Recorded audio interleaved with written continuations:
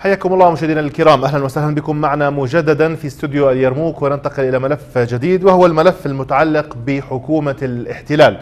بعد انتهاء الانتخابات آه، ما هي السيناريوهات المتوقعة في تشكيل آه، الحكومة آه، الإسرائيلية؟ نتنياهو جانس حكومة وحدة وطنية القائمة العربية ما موقفها؟ هل ستستمر بدعم جانس لإسقاط نتنياهو؟ هل جانس سيقبل بذلك؟ بأن يتحالف مع العرب لإسقاط خصمه آه، السياسي العديد من التساؤلات الحقيقة المطروحة. واسمحوا لي الحديث عن هذا الموضوع. أن نرحب برئيس الجمعية الفلسطينية للعلوم السياسية الدكتور عماد البشتاوي. دكتور عماد مساء الخير. يسعد مساكم. تحياتي دكتور عماد. يعني حاب بداية أسمع قراءتك لما بعد آه، الانتخابات آه، لدى الاحتلال النتائج والآن الحوارات والسيناريوهات المتوقعة. ماذا ترجح دكتور؟ يعني هي السيناريوهات كلها حقيقة الخارطة السياسية الإسرائيلية بعد الانتخابات معقدة إلى الغاية والجميع متفق أنها تشكيل حكومة ليست بالسهولة المتوقعة لأنه في تعادل بين المعسكر اليمين وما يسمى معسكر الوسط ومعسكر اليسار وبالتالي حالة معقدة، السيناريو الأرجح الآن أن تكون حكومة وحدة وطنية.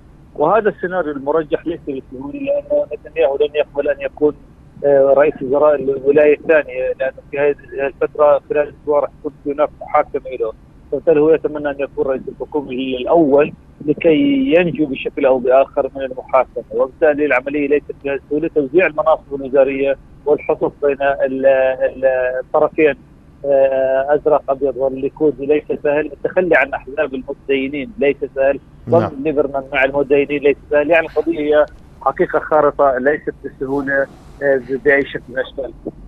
نعم. آه الآن آه القائمة العربية وايمن عودة قال إنه تصريح إنه إنه ربما يكون هناك لهم موقف مع مع مع جانس. ما رأيك إذا كان هذا التوجه قد فعلا آه يتم؟ و آه، كيف تتوقع أن تكون أيضا رد الفعل؟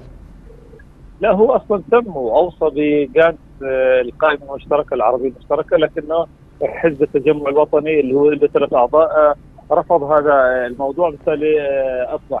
أنا ليس ضد الفكرة أنه يوصي توصي القائمه المشتركة بجانس لكنه كان هناك شفت نوع من التسرع بالتوصي يعني كيف توصي لجانس بدون تاخذ منه أي وعد بأي شكل. يعني لم يكن هناك جلوس بين الطرفين المشتركة وبلغان. آه، لم يكن هناك اتفاق على الخطوط العريضة الآن ماذا تعطينا لكي نعطيك أو لكي نوصى فيك فهذه كانت حقيقة يعني نوع من التسرع. وإذا الآن آه، أقيمت حكومة الوحدة الوطنية هذا آه، يضع القائمة المشتركة العربية بموقف حرج. لكن انت اوصيت لجانس لجانس ذهب لحزب الليكود ونتنياهو الذي الذي حاولت أن تسقطه أنت. وبالتالي يعني كأنك أنت لو لم توصي أفضل لك من أن توصي وتضع نفسك في هذا الموقف المحرج. نعم. أه، بشكل عام دكتور عماد أه، هل هنالك مصلحة للفلسطينيين وبالتالي العرب بأي سيناريو من السيناريوهات ولا كله يعني بالهوى سوا زي ما بنحكيها يعني بالعامية؟ أه، ما راح يعني يكون في فرق كبير ينعكس على مستوى الفلسطينيين؟ الوضع يعني لا نقول بأن بيلي وحزب الجنرالات حزب الأزرق بانه سيكون افضل من نتنياهو لكن أنا مع فكرة إسقاط نتنياهو لأنه آه، نتنياهو آه، علاقاته قوية جدا مع روسيا علاقات قوية جدا جدا مع ترامب. وبالتالي الحزب الأزرق أبيض آه، متطرف اتجاه الفلسطينيين لكنه لا يملك هذه العلاقات القوية مع اليمين الأمريكي المتصهين آه، ليس لا يملك بلغان كاريزما نتنياهو ولا ألاعيب نتنياهو الذي يحاول قضم الأراضي ويحاول آه، المزاودة على المستوطنين من أجل كسب أصوات المستوطنين والقضاء على كل حتى مشروع مفاوضات مع الفلسطينيين. فبالتالي كان خيار بريغانت أفضل مش لأنه هو أفضل للفلسطينيين لكنه في النهاية سهل إنك تضغط عليه وتضغط على حكومة برئاسة بريغانت من انك تضغط على حكومه نتنياهو لأن جربنا 10 سنين نتنياهو آه، نعم. قوة حقيقية داخل إسرائيل وخارج نعم. إسرائيل وكاريزما لليهود والمتدينين والمستوطنين وبالتالي كان الأفضل إسقاط أو إزاحة هذا الوجه السيء الحقيقة للسياسة الإسرائيلية. وأنت دكتور يعني آه، تتوقع أنه هذا يؤثر على صفقة آه، القرن إن لم يكن نتنياهو هو رئيس الحكومة على مستوى الزمان وعلى مستوى التفاصيل. إذا كانت حكومة وحدة وطنية وإذا كان الطرفين الآن الرئيسيين ليكود وأزرق أبيض مطلعين على تفاصيل صفقه القرن بالعكس تمريرها الان يكون أسهل لأنك عندما تتحدث عن حكومة وحدة وطنية تتحدث عن حكومة مستقرة تتحدث عن قدرة هذه الحكومة على تمرير صفقه القرن والإيفاء بالتزامات مع الأمريكان ليس كحكومة ليكود أو حكومة يمين ضيقة وبالتالي تكون وضعها حرج. إذا كانت حكومة وحدة وطنية وحكومة واسعة تضم 70 كنيسه عضو كنيسه فأكثر بالعكس هذا يعطي آه، قوة لهذا الموضوع. الآن هل إذا كان نتنياهو هو رئيس الحكومة الثاني الولاية الثانية السنتين الثانيين وان نقول إنه ممكن صفقه القرن تؤجل أو بشكل أو بآخر. طيب آه، في الداخل في الداخل الإسرائيلي هل هنالك من يرفض صفقة القرن لأي اعتبار معين إما لأنها تعطي أو فيها تنازل بعض الشيء للفلسطينيين أو لأنهم يظنوا أن آه، يعني فيها قسوة وهذه القسوة قد تتولد عليهم بشكل عكسي من خلال ردود فعل سواء كانت فلسطينية أو عربية أو دولية. أنا أكد لك إنه المطلعين على صفقة القرن في المجتمع الإسرائيلي والأحزاب الإسرائيلية عدد قليل جدا ومن ضمنهم نتنياهو المطلع الوحيد الفعلي. نعم. حتى الأسبوع القادم سيجتمع جرين بلاد اللي هو استقال برئيس حزب أزرق أبيض بليغانس ويحاول يضعه بصورة صفقه القرن فبالتالي المطلع الفعلي على هذه الصفقة هو كان بنيامين نتنياهو وهو عشان هيك ترامب ذكر بأنه سنعلن عن صفقة القرن بعد الانتخابات الإسرائيلية، الآن إذا تعقد تشكيل الحكومة هذه فرصة لترامب لأنه آه، لكي لا يعلن عن صفقة القرن. وإحنا عارفين إنه هون بالضبط للسنه موعد الانتخابات الأمريكية، بالتالي سيقول ترامب إنه الآن الوقت غير كافي لإعلان هذه الصفقة لأنك أنت داخل في دعاية انتخابية أمريكية. في شهر 11 2020 في انتخابات رئاسه امريكيه. وبالتالي بهذه الحالة لن لن يستطيع ترامب أن يعلن عن صفقة القرن. زي ما ثلاث سنين الماضيين كان يعطينا وعود وتأجيل. الآن سيعطينا وعد جديد الآن وسيكون بعد الانتخابات الأمريكية مباشرة سنعلن عن صفقة القرن إذا فزت في هذه الانتخابات وبالتالي يعني أصبحت قضية صفقة القرن هي تطبق على أرض الواقع لكن دون الإعلان عنها نعم. حزب أزرق أبيض هل يتبنى موقف نتنياهو فيما يتعلق بضم أراضي غور الأردن وشمال البحر الميت؟ إيه، إذا اطلعت مش على على معظم الأحزاب الإسرائيلية حتى حزب العمل من أيام ميغال آه، ألون آه، لشمعون بيريز. الجميع متفق إنه الغور هو منطقة أمنية، الجميع متفق إن المستوطنات الكبرى لن نتخلى عنها، الجميع متفق إنه لا لعودة اللاجئين، الجميع متفق إنه آه، دولة فلسطينيه دولة منزوعه السياده والسلاح، وبالتالي هذا يعني إذا أنت تطلع بالضبط على الأحزاب الإسرائيلية وبرامجها من اقصى اليمين لاقصى اليسار هذه الخطوط العامة لأي حزب إسرائيلي. وبالتالي لا يوجد هناك فوارق جوهرية بين حزب أزرق أبد وخاصه إنه يضم آه، يعلون يضم بيليغان يضم وجميع هذول إما كان وزير دفاع آه، أو كانوا رؤساء أركان وبالتالي جميعهم كانوا اليد اليمين لنتنياهو في الأربع سنين الماضيين يعني لا نتحدث عن حزب جديد يملك رؤى يساريه لا الجميع متفق على انه هناك رؤية واحدة لدولة فلسطينية منزوعه نعم. السلاح والسيادة ومرة ثانية لا لله يعني عودة اللاجئين لا ترك منطقة الغور بيد السلطة الوطنيه في النهايه حماية لحدود إسرائيل.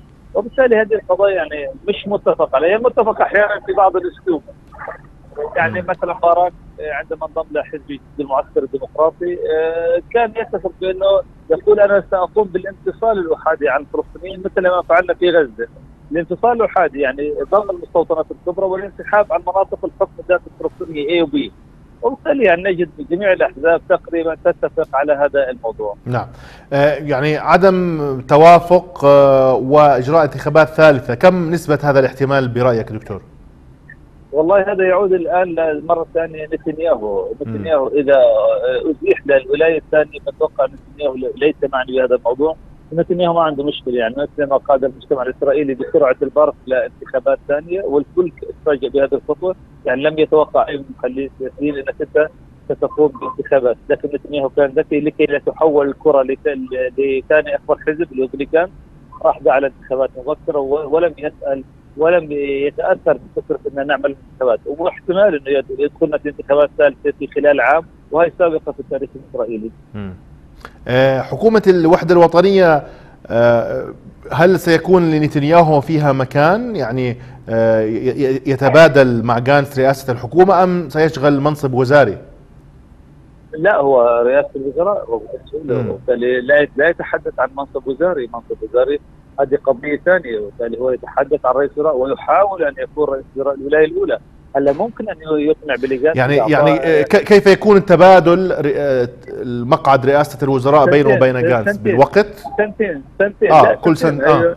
آه هي يعني عندنا إسرائيل في الثمانينات عندنا تبادل شامير مع شمعون بيرز يعني حكم كل واحد فيهم أربع سنين من سنة ال 82 لل 84 84 86 اللي هي يعني متعارف عليها في السياسة الإسرائيلية. يعني بيجن وشمعون بيرز في الثمانينات تبادلوا كل واحد فيهم حكم سنتين. آه الآن بصير الخلاف على من هو الأول. أه. وبالتالي هون بصير في عندنا مشكلة والخلاف الثالث سيكون حول توزيع المناصب الوزارية والخلاف الثالث وهو المهم ضم الأحزاب الدينية، هل سيكون بلجان معني؟ إذا كان معني رقم ثلاثة في حزب الازرق أبيض وهو يائر لبيد من العلمانيين المتشددين يرفض الأحزاب الدينية. آه ليبرمان حزب إسرائيل بيتنا يرفض الأحزاب نعم. اليمينية وبالتالي هنا تدخل في إشكالية يعني, يعني في فيها تعقيد المسألة أيضا. فيها نعم. تعقيد يعني إذا تخليت عن الأحزاب اليمينية الأحزاب الدينية اليمينية وهم حلفاء الليكود التقليديين وبالتالي إذا ضمهم معناته ستخسر أنت ليبرمان ستخسر أعضاء في حتى حزب أزرق أبيض اللي هم علمانيين متطرفين نعم. فهون نعم. بصير عندك حسابات دقيقة. هل تقبل؟ إذا لم يقبلوا الآن هذا الحزب الازرق أبيض بالمتدينين المتدينين الآن سيحمل نتنياهو مسؤولية. ان إحنا حلفاء كيف تتخلى عنا من أجل مناصب وزاريه في حكومة جديدة؟ جميل.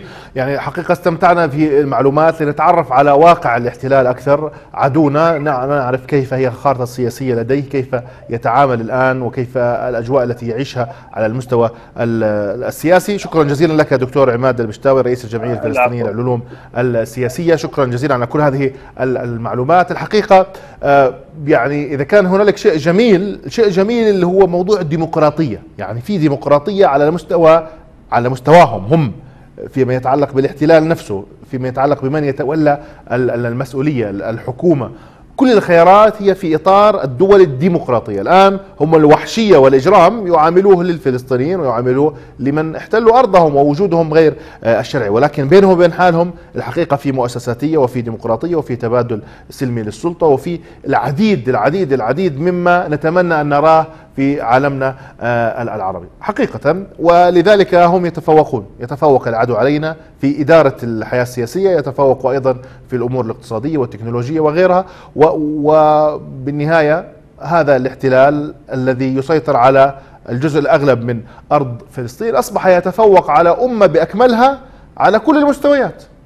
وشوفوا كم جامعة عربية تتنافس مع الجامعات الصهيونية آه، في آه، داخل الاحتلال على مستوى العالمي وشوفوا البراءات الاختراع وشوفوا الأبحاث العلمية والبنية التحتية حتى لما نشوف لقطات يعني من من داخل الكيان نظهر يظهر الفارق كبير بين البنية التحتية لهذا الكيان وبين البنية التحتية للعالم العربي.